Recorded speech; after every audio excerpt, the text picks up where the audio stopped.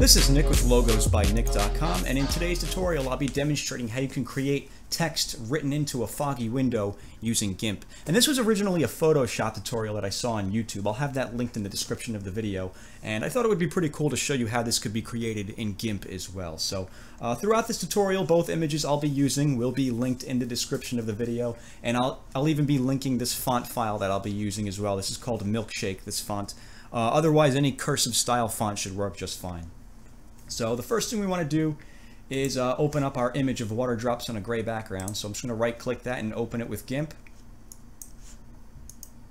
And there's that. What we want to do now is change the size of this image because it's a little too big. We'll go to Image, Scale Image, and the width of this, as you'll see, is 5616, which is a little. We don't need it to be that big. We can just change it to 1920. Go ahead and click on the next box, and it should automatically adjust the height to 1280.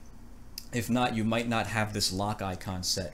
So go ahead and set that lock icon and try it again. Or you could just manually write in 1280 like that. Go ahead and click scale. And I'm just going to zoom in a little bit by holding control and rolling up on the mouse wheel a few times. Like that, that's pretty good. And then we'll open up our image of Cologne here. And for the image, anything with like a night, like a night sky usually works. It doesn't really work that well with like a blue sky because it's supposed to be raining. You could try like a darker cloudy sky, but a night sky usually gives you more contrast, which works a lot better uh, for what we're going to do. So what we have now is we have this image of this city here, and it's a really, really clear image. What we want to do is blur this because this is going to be the background. The water drops on the window are going to be the subject. They're going to be in focus. So the background has to be out of focus. And to do that, we're going to add a blur. So we'll go to Filters, Blur, Gaussian blur. And uh, for this one, we're just going to use a 45 point blur like that. Go ahead and click OK. That should make that nice and out of focus like that. And then we'll change the mode from up here from this drop down. We'll change that to uh, overlay.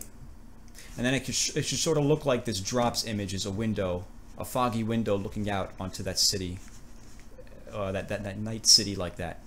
And what we'll do now is add our text. So we'll come over to the text tool. And for my presets, I already have the font set. It's called Milkshake. You can go ahead and find that font or use a similar cursive font or any font you want, really.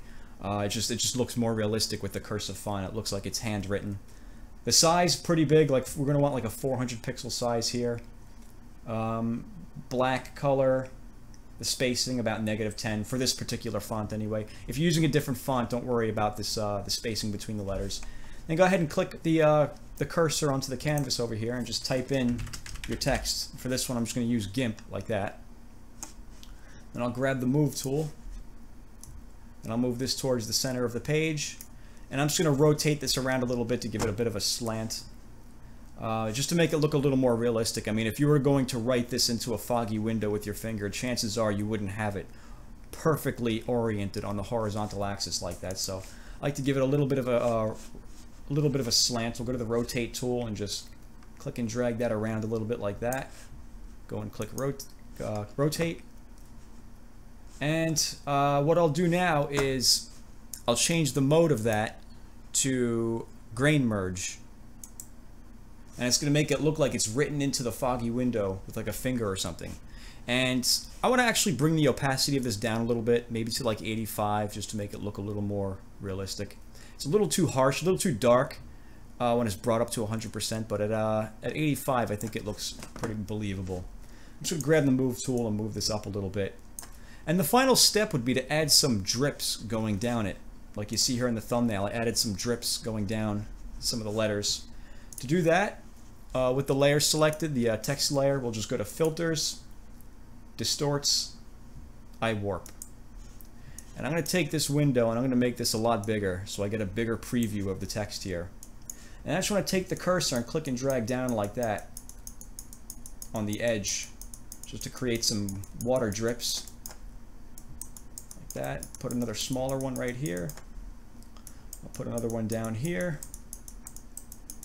If you want, you could really take your time and really craft these and make them look nice, make them look longer and everything like actual water. I'm just kind of um, going through this pretty quickly for a uh, for the sake of the tutorial. Put another one down here, another one down here, another one down here. I'll make this one longer maybe. Maybe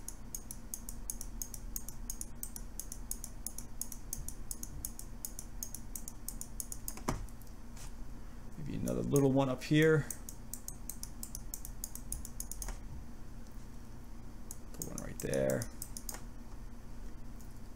And that's, you should pretty much get the idea. It makes it look like it's dripping down like water, like uh, condensation from the window accumulating and forming drops that roll down the glass. So uh, once we've done that, we can go ahead and click OK. And there we have that. Maybe uh, make those drops like a little longer like I did in my thumbnail over here. But uh, just to give you a general idea of how that can be done. You could even adjust the opacity a bit according to your liking. I think that looks pretty good right there, maybe 89. So that's how you can do that with GIMP. So if you have any questions, let me know. And as always, thanks for watching.